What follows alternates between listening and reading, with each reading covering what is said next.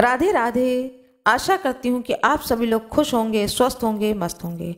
आज मैं आप लोगों को अन्नकूट गोवर्धन पूजा की कथा सुनाने जा रही हूँ। आप अपने हाथ में पुष्प और चावल ले लें। आप सभी लोगों को अन्नकूट गोवर्धन पूजा की हार्दिक शुभकामनाएँ। भगवान श्री कृष्ण को प्रसन्न करने तथा गोवंश की रक्षा के लिए यह अन्नकूट या गोवर्धन की पूजा की जाती है।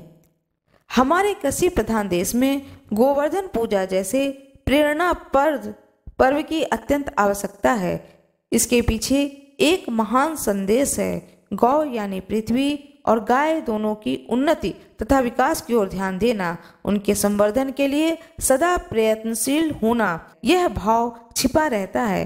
अन्नकूट का महोत्सव भी गोवर्धन पूजा के दिन कार्तिक शुक्ल पक्ष प्रदीपदा को ही मनाया जाता है। यह ब्रजवासियों का मुख्य त्यौहार है। अन्नकूट या गोवर्धन पूजा का पर्व यूँ तो अति प्राचीन काल से मनाया जा रहा है, लेकिन यह आज भी मनाया जाता है। वह भगवान श्री कृष्ण के द्वारा इस धरा पर अवतरित होने के बाद में द्वापर युग से आज तक यह परंपरा चली आ रही है और इस त्योहार को मनाया जाता है। उस समय जहाँ वर्षा के देवता इंद्र की ही उस दिन पूजा की जाती है, वहीं अब गोवर्धन पूजा भी प्रचलन में आ गई है। आइए आप लोगों को मैं कथा सुनाती हूँ, पौराणिक कथा। एक बार महर्षि ने किसी संत सम्मेलन में ऋषियों से कहा कि कार्तिक शुक्ल पक्ष प्रतिपदा को गोवर्धन व अन्नकूट की पूजा करनी चाहिए। ऋषियों ने महर्षि से पूछा यह अन्नकूट क्या है? गोवर्धन कौन है? इनकी पूजा क्यों तथा कैसी करनी चाहिए? इसका क्या फल होता है? इन सब का विस्तार से कह करके कृतार्थ करें। महर्षि बोले, एक समय की बात है। भगवान श्री कृष्ण अपने सखाओं, गोप ग्वालों के साथ में गाय चराते हुए गोवर्धन पर्वत की तराई में जा पहुँचे। वहाँ पहुंचकर उन्होंने देखा कि हज़ारों गोपियाँ गोवर्धन पर्वत के पास छप्पन प्रकार के व्यंजन रखकर बड़े उत्साह के साथ नाच गा करके उत्सव मना रही थी। श्री कृष्ण भगवान भी इस उत्सव का प्रयोजन पूछा तो गोपिया ने कहा कि आज तो घर घर में उत्सव होगा, क्योंकि वृतासुर को मारने वाले मेघ व देवों के स्वामी इंद्र का पूजन होगा। यदि पूजन से वे प्रसन्न हो जाएँ तो ब्रज में वर्षा होती है, जिससे अन्न पैदा होते हैं, तथा ब्रजवासियों का भरण पोषण होता है। तब भगवान श्री कृष्ण बोले, यदि देवता प्रत्यक्ष आकर भोग लगाएँ, तब तो तुम्हें यह उत्सव ज़रूर करना चाहिए। इतना सुनकर के गोपियाँ कहने लगी कि देवराज इंद्र का इस प्रकार निंदा नहीं करनी चाहिए। यह तो इंद्रोज नामक यज्ञ है। इसी के प्रभाव से अतिवृष्टि तथा अनावृष्टि नहीं होती है। भगवान श्री कृष्ण बोले, इंद्र में क्या शक्ति है? उससे अधिक शक्तिशाली तो हमारा गोवर्धन पर्वत है। इसी के कारण वर्षा होती है। हमें इंद्र से भी बलवान गोवर्धन की पूजा करनी चाहिए। काफ़ी वाद विवाद के बाद श्री कृष्ण की बात मानी गई तथा ब्रज में इंद्र की पूजा के स्थान पर गोवर्धन की पूजा शुरू हो गई। सभी गोप वाले अपने अपने घरों से पकवान ला ला करके गोवर्धन की तराई में जाकर श्री कृष्ण भगवान की बताई हुई विधि से पूजन करने लगे। उधर श्री कृष्ण ने अपने आदि दैविक रूप से पर्वत में प्रवेश करके ब्रजवासियों द्वारा दिए गए सभी पदार्थों को खा लिया तथा उन सबको आशीर्वाद दिया। सभी गोपाल अपने यज्ञ को सफल जान करके बड़े ही प्रसन्न हुए।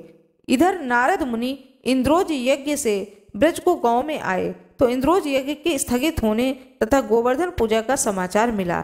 इतना सुनते ही नारद जी इंद्रलोक पहुँच गए तथा उदास होकर देवराज इंद्र से बोले, हे देवराज, गोकुल के निपासी, गोपों ने इंद्रोज बंद करके आपसे बलवान गोवर्धन की पूजा शुरू कर दी है। आज से यज्ञों आदि में उसका भाग तो हो ही गया है।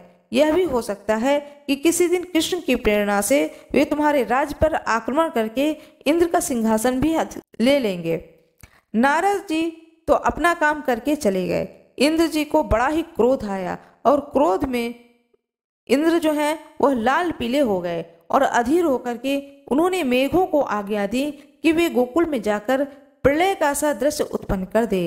मेघ ब्रज भूमि पर जाकर के मूसलाधार बरसने लगे। इससे भयभीत होकर सभी गोप ग्वाले कृष्ण के शरण में गए और रक्षा की प्रार्थना करने लगे। गोप गोपियों की करुण पुकार सुन करके भगवान श्री कृष्ण बोले, तुम सब गोवर्धन पर्वत की शरण में चलो, वह सबकी रक्षा करेंगे। सब गोप ग्वाले पशु धन सहित गोवर्धन की तराई में आ गए। श्री कृष्ण भगवान ने गोवर्धन को अपनी कनिष्ठिका उंगली पर उठा करके छाता सा तान दिया। गोप ग्वाले सात दिन तक उसी की छाया में रहकर अतिवृष्टि से बच गए। सुदर्शन चक्र के प्रभाव से ब्रजवासियों पर एक बूंद भी जल नहीं पड़ा। यह चमत्कार देख करके ब्रह्मा जी द्वारा श्री कृष्ण की बात जानकर इंद्रदेव अपनी मूर्खता पर पश्चाताप करते हुए भगवान श्री कृष्ण से क्षमा याचना करने लगे। श्री कृष्ण भगवान ने सातवें दिन गोवर्धन पर्वत को नीचे रखा और ब्रजवासियों को कहा कि अब तुम प्रतिवर्ष गोवर्धन पूजा कर अन्नकूट का पर्व मनाया करो। तभी से यह पर्व के रूप में प्रचलित हो गया। गोवर्धन पूजा के दिन गाय से गोवर्धन बनाया जाता है और उसकी पूजा की जाती है। भोग लगाने हेतु छप्पर प्रकार के व्यंजन बनाए जाते हैं। गोवर्धन भगवान की जय हो श्री कृष्ण भगवान की जय हो, गोवर्धन पर्वत की जय हो, इंद्र भगवान की जय हो। आपने अपने हाथ में पुष्प और जो चावल लिया है, उसे गोवर्धन भगवान जो बनाया है, उसके ऊपर चढ़ा दें। मेरा यह वीडियो आप लोगों को अच्छी लगी हो तो कृपया वीडियो को लाइक करना ना भूलें, चैनल को सब्सक्राइब कर दें, बेल आइकन दबाना ना भूलें, धन्यवाद।